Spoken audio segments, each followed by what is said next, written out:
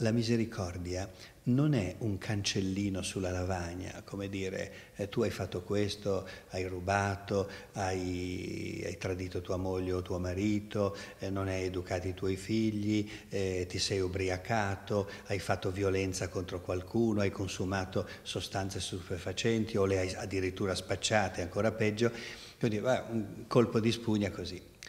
No, per poter elargire veramente la misericordia occorre che la persona sappia comprendere il male che ha fatto